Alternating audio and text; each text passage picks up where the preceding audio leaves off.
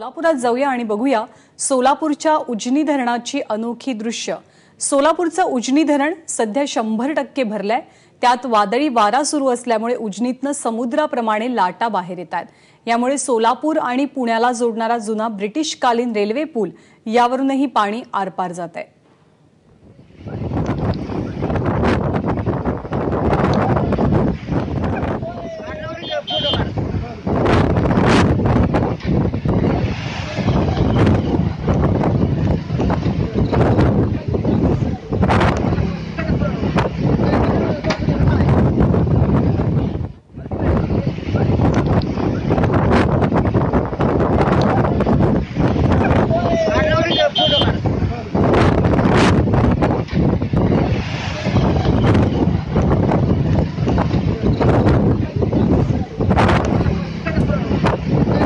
शिवकुमार पाटील आपले प्रतिनिधी सध्या आपल्यासोबत आहे शिवकुमार खरं तर मुंबईच्या चौपाट्यांवरती जनरली जे दृश्य पाहायला मिळतं तसंच काहीचं दृश्य या डिक्सळ पुलावरचं आहे.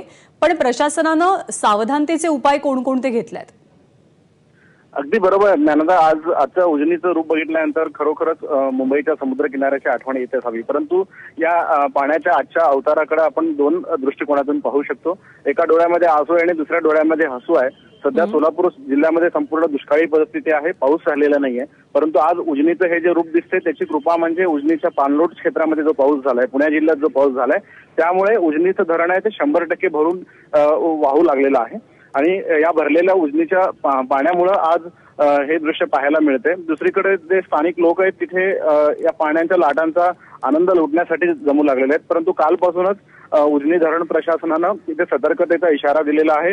जे हे पाण्याचा आनंद लुटणारे लोक आहेत किंवा स्थानिक तिथले रहिवासी आहेत जेव्हा ज्यांना या पाण्याबरोबरचे फोटो काढायचे आहेत त्यांना कालपासूनच सूचना देण्यात आलेल्या आहेत की या पुलाच्या मध्यभागापर्यंत कोणी जाऊ नये कारण पाण्याचा वेग खूप मोठा आहे.